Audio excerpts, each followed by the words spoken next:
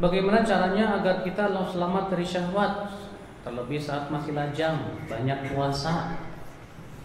Apalagi lajang banyak puasa kata Rasulullah. Rasulullah, "Faman lam yastati fa Siapa yang belum bisa menikah, hendaklah apa? Puasa.